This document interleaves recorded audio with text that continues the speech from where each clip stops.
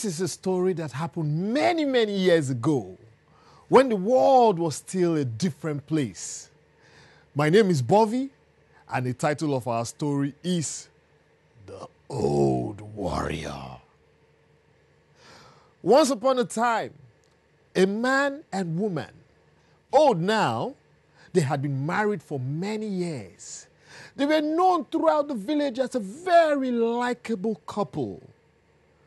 But you know, it was also well known that neither of them was very wise.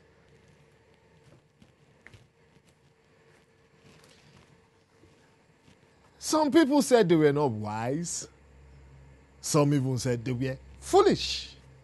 But if there was one thing almost everybody knew, it was that the old man still had strength. He had strength to farm. Early one morning, just before he set off for work, he said to his wife, See here, this purse contains 10 cowrie shells. Now, those days, this was what was used as money for years.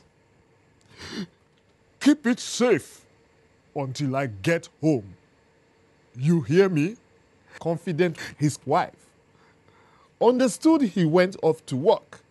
She said, Okay, my darling, keep it safe, keep it safe. She mumbled to herself, I will hide this purse here inside this pot. And nobody will know it's there. I need to keep it safe for my husband. She said these exact words to herself.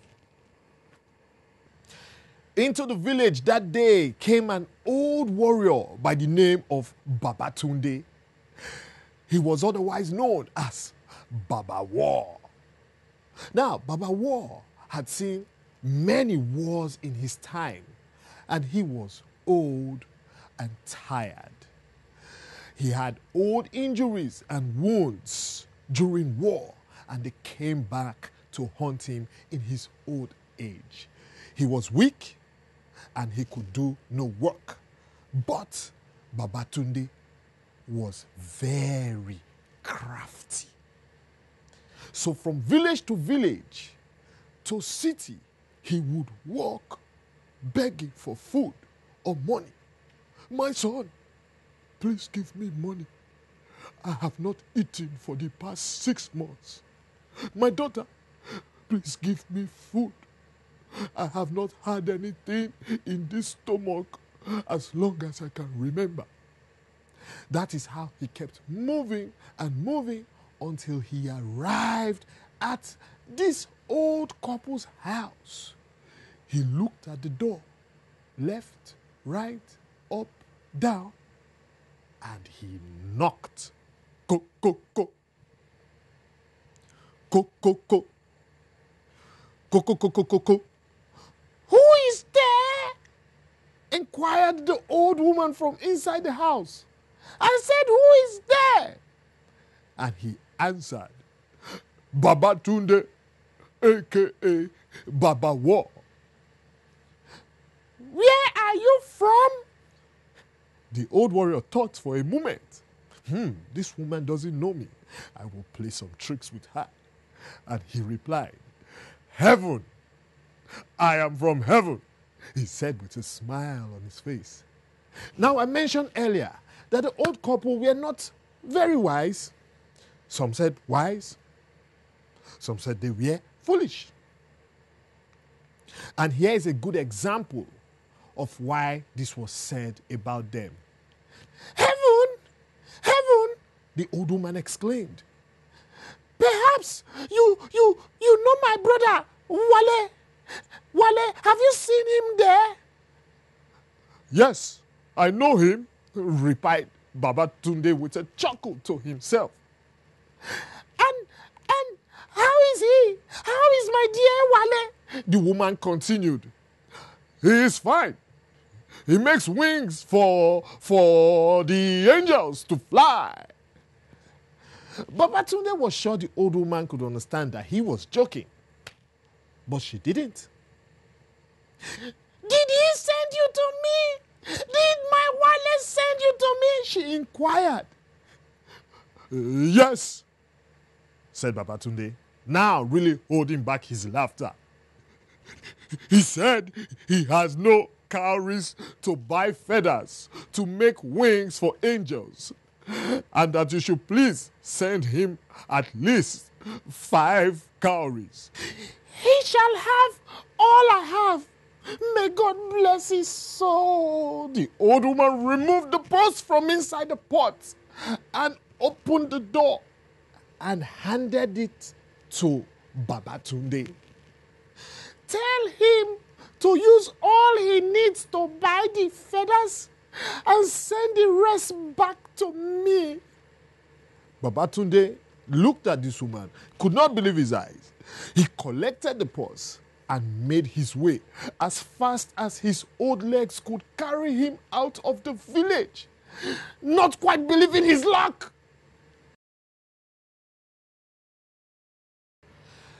Later that evening, the old man returned from work.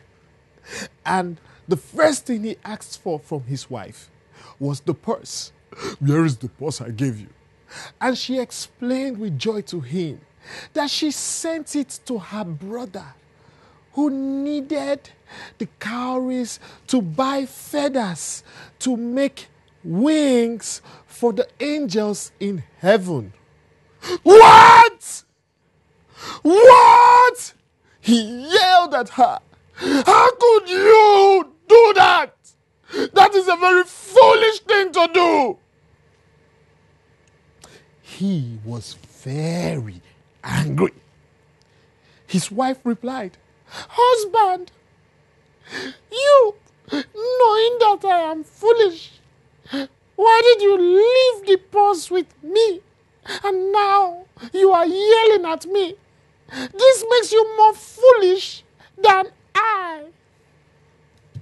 The old man thought for a while and decided there was no time to argue. He immediately left the house and mounted his old horse and started to chase after Babatunde as fast as the horse could carry him.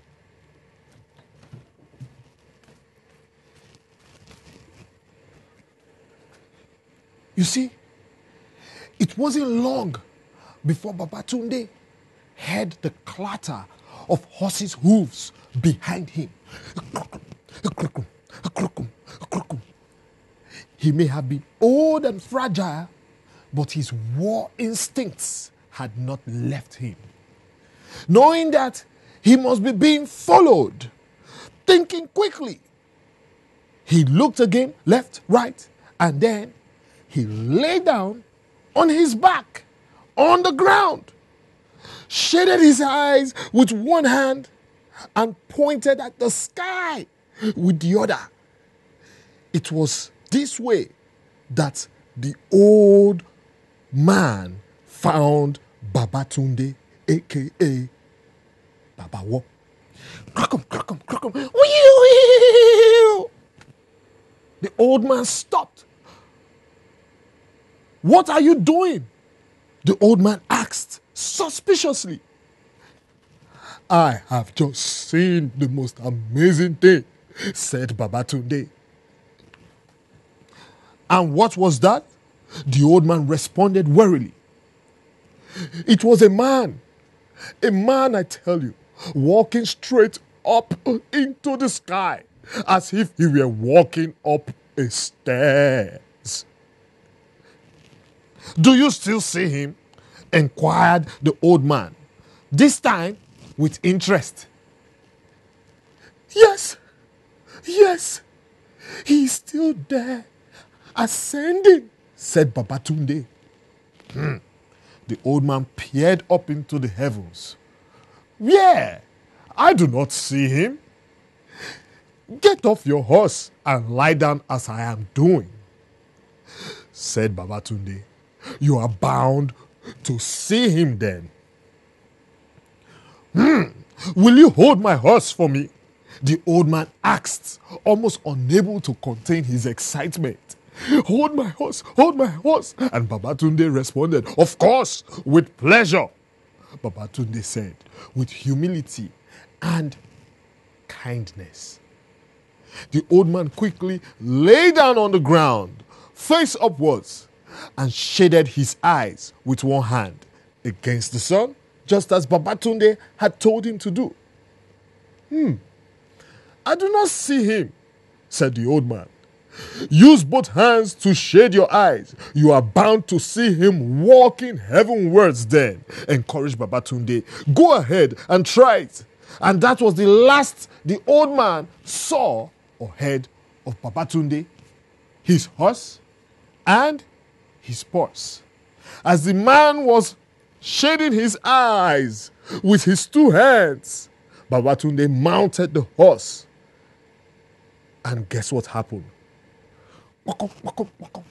He galloped off.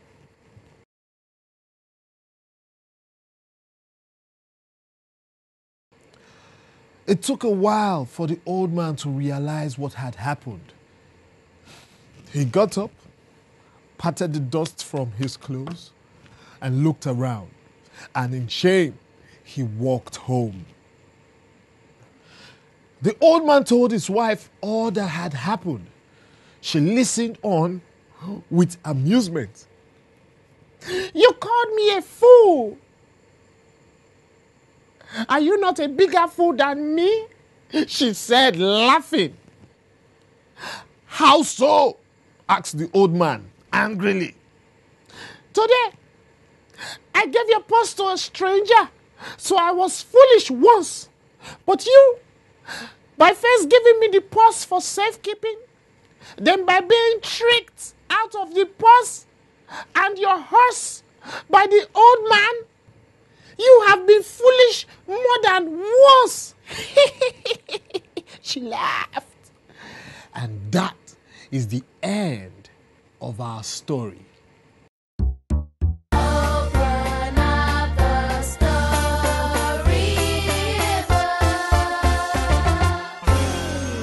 And the moral of the story is by the time the fool has learned the game, the player is long gone. But I must add, kids, remember what the old warrior Babatunde did was very bad, and we must not emulate such behavior.